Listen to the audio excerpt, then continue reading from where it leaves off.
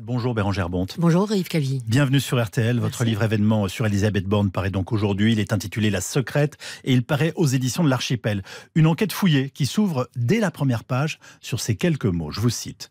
Dans tous les couloirs de son parcours professionnel, Elisabeth Borne a laissé le souvenir d'une femme qu'on entend crier de l'autre côté de la porte. Ça commence bien? Je l'ai expérimenté en fait. Premier rendez-vous, euh, j'arrive à Matignon, ça fait six mois que j'attends le rendez-vous et effectivement j'entends hurler de l'autre côté de la double porte. Euh, donc vous imaginez la scène, vous êtes avec la conseillère et c'est tout un petit moment de gêne et en fait c'est même pas, il y a même pas de gêne parce qu'en fait c'est tellement, ils sont tellement habitués, c'est horrible à dire mais euh, c'est comme ça. C'est le tempo de la vie avec Elisabeth mm. Borne, première ministre. Alors précisons que justement le chef de gouvernement vous a consacré du temps, même si je crois que vous avez dû vous accrocher pour obtenir le premier rendez-vous. Pourquoi ce titre, La Secrète? Parce que euh, elle arrive à Matignon. Euh, l'idée vient, démarre le 16 mai quand elle est nommée. Il fallait quand même être un peu dingue pour prendre le risque. Et je rends hommage à, mon éditeur Jean-Daniel Belfond là-dessus parce que franchement, on a même attendu les législatives en se disant bon, on va bien voir. Puis en fait, ça s'est compliqué aux législatives puisqu'elle n'avait pas de majorité. Mais cette femme, on la connaissait pas. Elle avait été cinq ans ministre. On, on, on, on, ne connaissait pas et, et elle est secrète sur, sur, beaucoup d'aspects. Moi, j'ai senti vraiment au fil de l'enquête vraiment deux, deux, sujets sur lesquels euh, vraiment elle se blindait particulièrement. Et, et, ça m'est revenu, en fait, j'en ai pris conscience par les coups de fil de pression amicale, on va dire, que j'ai reçu du cabinet de, Matignon, euh, un sur sa vie personnelle, deux sur euh, ses ambitions à l'Élysée, mais arrêtez donc d'interroger tout le monde sur ses ambitions à l'Élysée. Donc je me suis dit, bah, il y a peut-être un sujet en fait. Oui, mais alors quel est son secret, Bérangère Bonte? Quel est son secret Son père? Qui s'est suicidée lorsqu'elle avait 11 ans euh, Une histoire familiale évidemment euh, très douloureuse. Euh, c'est un père qui revient des camps. elle l'a fini par le, raconter dans sa déclaration de politique générale et qui ne revient jamais complètement en fait et, et qui se suicide quand elle a 11 ans. Et sa mère lui dira cette chose épouvantable que vous citez le jour de ta naissance, ton père a fait une crise d'épilepsie. Ça a été le début de la fin. Elle se dit là qu'il n'y a pas grand-chose qui tient dans la vie. C'est-à-dire, vous avez 11 ans, votre monde s'écroule. Le monde lui-même était déjà pas très, très joyeux. Je veux dire, c'était un appartement avec des, barreaux aux fenêtres. Tout était quand même pas très joyeux. Mais là, elle se dit, il y a qu'un truc qui tient, c'est les maths. Donc, je vais faire des maths. Euh, et puis, je vais... Et, enfin, là, c'est pas conscient, mais, mais elle s'est coupée. Enfin, elle donne l'impression de s'être coupée de ses émotions ce jour-là. Mais les mathématiques pour euh, assumer cette douleur et cette culpabilité que lui fait porter sa mère, c'est quand même incroyable qu'une maman dise ça à sa fille. Mais euh, oui, mais... En gros, elle lui dit, tu as, tu as contribué à la mort de ton père, ça revient à ça. Et avec une relation en plus qui est assez euh, inexistante, c'est difficile à dire, mais je veux dire, autant son père comme sa mère d'ailleurs avait, avec sa sœur une relation très forte. Euh, Elisabeth Borne, euh, quand, on en a parlé, me dit bon, mon père avait une relation forte avec ma sœur, puis moins fort, et puis j'ai réécouté trois fois le dictaphone, ça devait lui suffire. et, voilà, elle, a conscience de tout ça elle, dit des, choses euh, aussi. Enfin, elle, sort de tout ça avec l'idée qu'il n'y a pas grand-chose de grave dans la vie. Et, ça, c'est important quand on gouverne. Il, ne pourra rien arriver de très grave. C'est une pudique qui se protège? Oui, alors c'est plus que pudique, parce qu'ensuite, elle, a construit quand même une personnalité. C'est très, très, troublant, et c'est ça qui est intéressant, et c'est mmh. ça qui vaut bien un an d'enquête.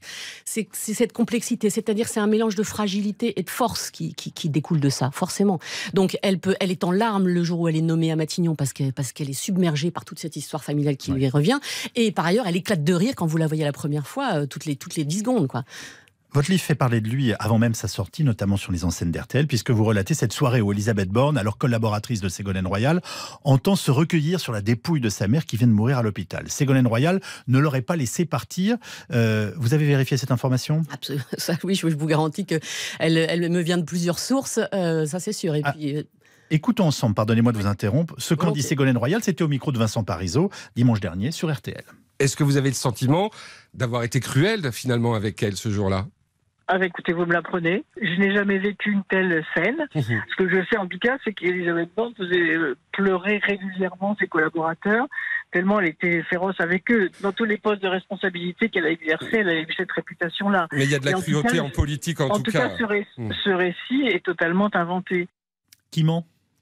À votre avis Vous pensez, vous pensez qu'on écrit des choses pareilles sans avoir euh, verrouillé, triple verrouillé et demandé évidemment trois ou quatre fois un entretien avec euh, Royal euh, qui, qui, qui, Elisabeth Borne dit que c'est l'expérience la plus stressante de sa vie d'avoir travaillé, d'avoir travaillé avec, Madame Royal. Absolument. Quand on connaît sa vie par ailleurs C'est quand même fort. Alors, parmi les surnoms quand même qui la poursuivent depuis son entrée en politique, il y a celui de Méchanta. Ça m'a fait beaucoup rire. Méchanta, euh, j'imagine ça vient de Cruella. Je l'avais pas celle-là, à vrai dire.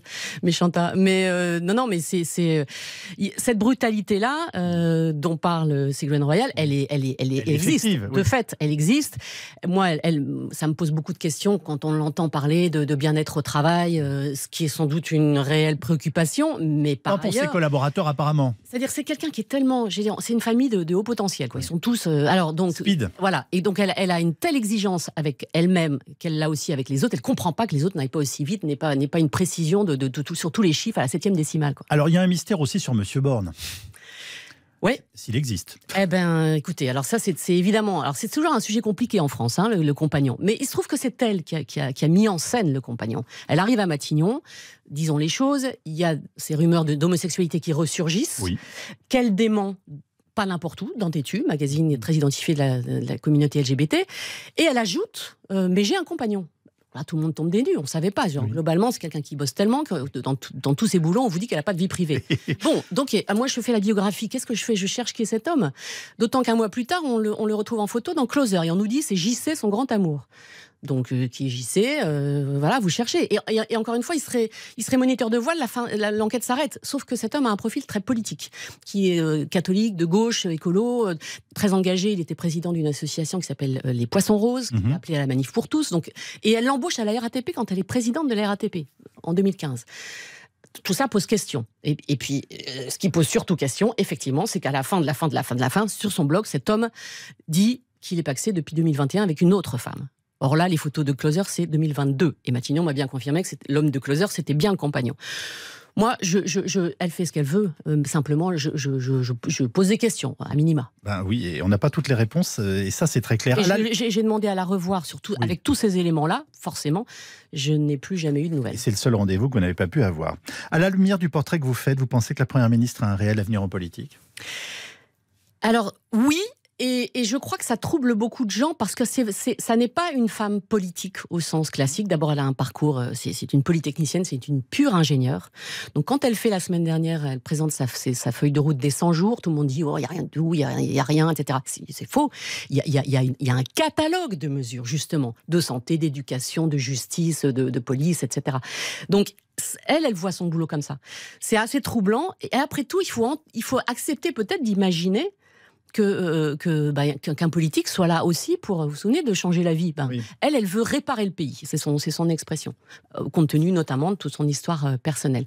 Maintenant, c'est vrai que ça manque un peu d'un souffle global, d'une, d'une vision globale, et, et, ce qui est très troublant, c'est qu'elle l'a ça quand, vous l'avez en entretien, quand je l'ai eu en entretien individuel comme ça, notamment pour parler au moment de la réforme des retraites, je l'ai vu quatre jours avant sa présentation, c'était extrêmement intéressant la vision du travail qu'elle avait, euh, de, réparer le pays, de refaire nation, euh, les jeunes, les vieux, etc. Sauf que tout ça n'apparaît plus dans la réforme. Et donc il y a quelque chose euh, d'assez troublant parce qu'elle a ça au fond d'elle mais elle ne parvient pas pour l'instant, comme femme politique, pour répondre à votre question, à mettre ça vraiment clairement. Ce qui pose aussi euh, les questions qui sont soulevées sur euh, sa relation avec le président de la République, mais c'est une histoire que nous raconterons une autre fois. Merci beaucoup Bérangère Bonte. Elisabeth Borne, La Secrète, hein, c'est le titre de votre ouvrage qui paraît donc aujourd'hui aux éditions de l'Archipel et c'est un, un événement politique. Bonne journée à vous. Merci.